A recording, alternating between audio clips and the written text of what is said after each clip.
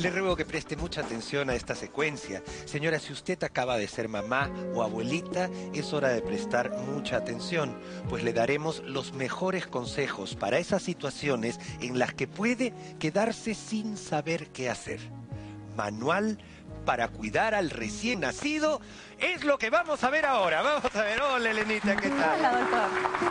Qué lindo tema. podamos conversar de este tema. Fascinante. Si una mamá debuta como mamá y un niñito debuta como hijo. Por y supuesto. muchas veces los dos están más asustados que nadie Así porque es. muy difícil tener la responsabilidad de tener un niñito. Así es, doctor. Bueno, como enfermera, en realidad yo me siento muy comprometida porque una función inherente es atender al recién nacido.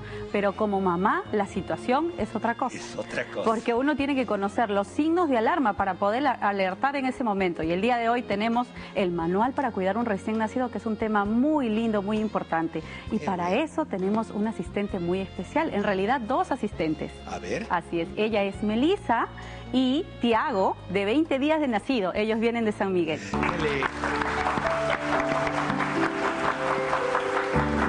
Encantadísimo. Enhorabuena y el gusto. pequeño Tiago. Hola, Tiago.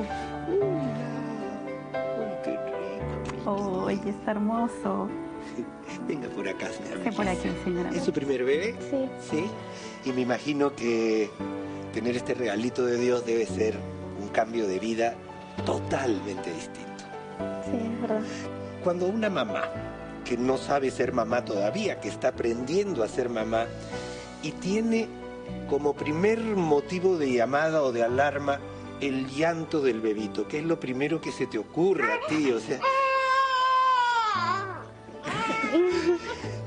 Bueno, ya lo estoy aprendiendo a conocer. Eh, normalmente es cuando llora, es cuando tiene hambre, que es cada dos horas.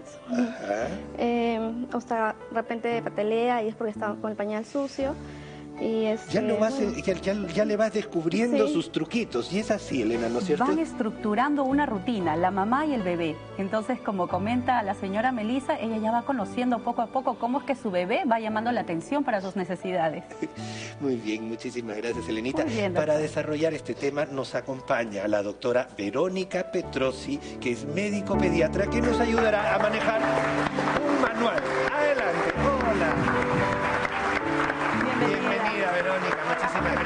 Estar aquí. Doctora Verónica, bienvenida. La dejo aquí para desarrollar el tema. Con permiso, Gracias, señora. adelante. Justo decíamos que una mamá debuta como mamá y poco a poco tiene que ir aprendiendo a descifrar la conducta de su bebé. Es cierto, muy cierto y para eso estamos aquí tratando de dar algunos tips que le van a ayudar a ustedes. Perfecto. Melissa, espérenos si puede, por favor, sentadita ahí con su bebé. Y mientras nosotros vamos a ir viendo el primer cuidado y los tenemos, por favor, pasa por acá, por este lado, y los tenemos en esta cigüeñita que nos va a ir diciendo cuáles son estos signos de alarma que uno debería investigar o debería aprender a descifrar. En el siguiente bloque aprenda cómo cuidar a un recién nacido. Siempre tiene que estar sujetado por una mano de la mamá o del papá. Ya volvemos en Doctor TV. No siempre los jabones, los champús ayudan a la piel del bebé. Solo aquí en Doctor TV. Tenemos el primero, que es el típico, el llanto. Temible llanto. el temible llanto. Pero es que, claro, ¿qué van a hacer los niños si no pueden comunicarse? Y esta es una reacción totalmente natural. Exacto. Ah, No hay que tenerle miedo al llanto. El llanto es una reacción eh, normal de los bebés que quieren comunicar efectivamente algo que le está sucediendo. Y en el camino vamos a ir aprendiendo de que por qué puede ser ese llanto.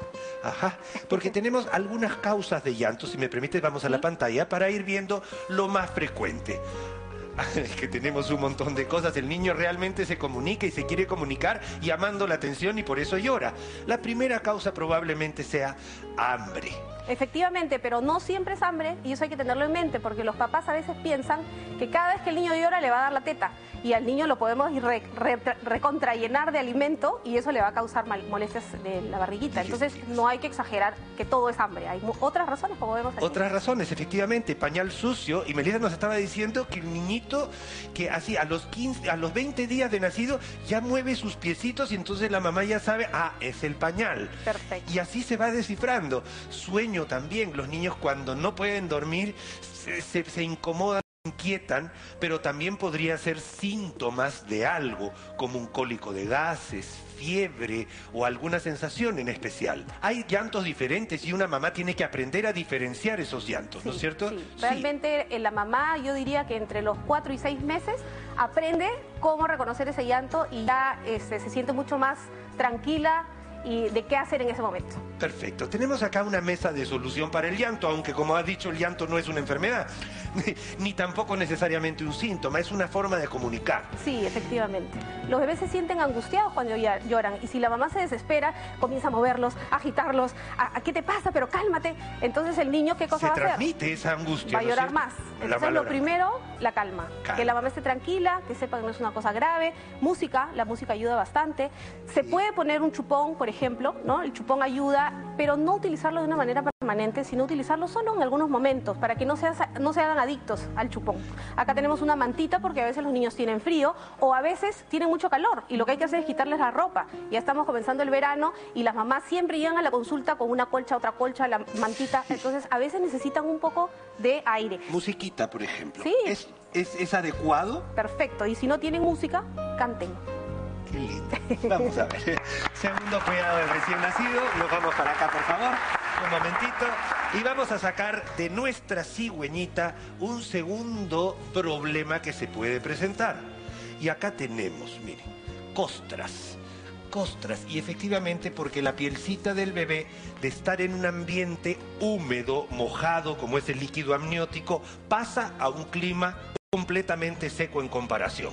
Efectivamente. Y las costras de leche en realidad son eh, una manifestación de la piel ante este cambio de una, un medio húmedo a un medio seco y además por diferentes este, soluciones que podrían estar ocasionándolo. No siempre los jabones, los champús, las colonias ayudan a la piel del bebé. Entonces, si el bebé tiene esta sensación o esta, esta reacción frente a estos productos, hay que dejarlos de lado y utilizar solamente agua o un jabón muy suave para bebés. De acuerdo, y además, incluso, claro, para esto, ¿qué se puede hacer? Por ejemplo, acá tenemos una imagen de estas costritas que se van presentando. Aparentemente, esto en un niñito mayor podría considerarse una inflamación de la piel con una caspita arriba, pero eso es sequedad, ¿no es cierto? Básicamente. Sí, en realidad se llama, el nombre médico es dermatitis seborreica. Son costritas de grasa, uno cuando las ve las puede este, sentir como grasita, es como una caspa pero en capas grandes y se dice, o hay estudios que, indican que esto es un tema alérgico, de pieles alérgicas. Entonces yo lo que les recomiendo es que no estén sacando las costritas porque van a irritar la zona de la piel. No sacarlo, ese es un foco infeccioso de todas maneras y por lo menos, si lo va a hacer, lávese las manos por lo menos. Muy bien, costra láctea. Nos vamos al tercer cuidado de recién nacido lo tenemos por acá. Y vamos a ver, sale de nuestra cigüeñita y dice, ajá, limpieza genital.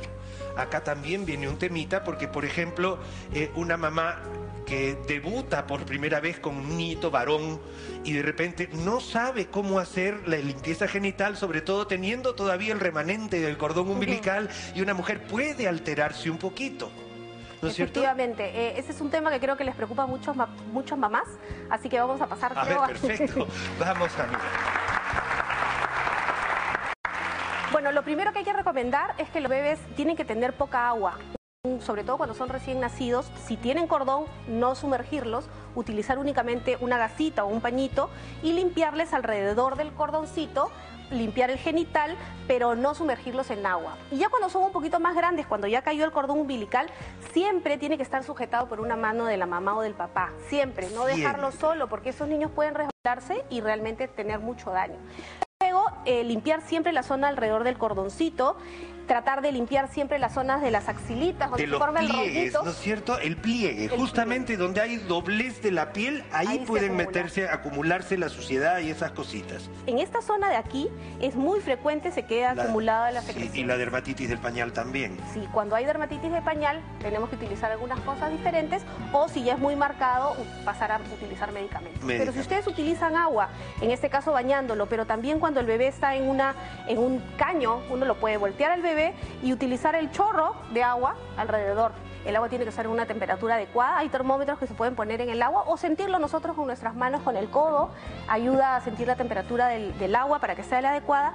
Y tampoco dejar de prepararnos, porque a veces venimos a la tina... Y tenemos, nos Uy, falta una cosa y tenemos que regresar. exacto. Eh, Lo dejamos bebé y ya sabemos qué puede pasar. De acuerdo. Tenemos un cuarto cuidado del recién nacido y lo tenemos en pantalla. Esta vez vamos a vernos por acá. Adelante, por favor, señor director. Vamos a ver el cuarto cuidado que requieren los niños. Cuidado de las uñas. Acá hay un tema más importante que lo, que la gente piensa. El niñito no coordina todavía bien los movimientos de sus manos. Y si tiene las uñitas muy largas o muy filudas, se va a hacer heridas. O sea, no es que lo más probable es que se haga heridas, arañazos y que tenga algún, por ejemplo, mira acá, típico, típico de un niñito que además tiene el dedito en la boca y luego se mete acá, se hace una herida que puede causar una Sí, infección. y en la piel, bueno, no es tan grave, pero a veces se pueden meter al ojo. Y una herida en el ojo con la uña de un bebé puede ser muy peligrosa. Entonces, realmente no hay que tener miedo a cortar las uñas. De preferencia hacerlo cuando el niño está dormido o cuando se ha bañado para que la uñita esté más blandita. Y hacerlo, no todos los días, pero uno lo puede cortar cuando ya salió un poco la, este, de la superficie. Y acá recomiendo también que las mamás se corten las uñas. Las mamás tienen que tener uñas cortas y no pintadas de preferencia para poder evitar daños a su bebé a la hora que lo bañan, a la hora que le dan el lactar, ¿no? Entonces no solo corte del bebé, sino también corte de la mamá. ¿no? De acuerdo. Estamos aprendiendo, vamos a despedirnos en este caso de Tiago y su mamá Melissa, agradeciéndole por supuesto la visita y veo que se está portando extraordinariamente bien. Se ¿Cómo se siente Melissa en esta oportunidad teniendo acá a su pequeño rey? Bien, que también no está llorando, está tranquilito. Se le ve una felicidad máxima y la verdad es que estamos agradecidísimos, doctora, por estos consejos, estos comentarios. Agradecido con usted, Melissa, con Tiago también y con nuestra producción. Nosotros seguimos con más aquí en Doctor TV, siempre llevándole un poquito de buena voluntad y salud a su casa.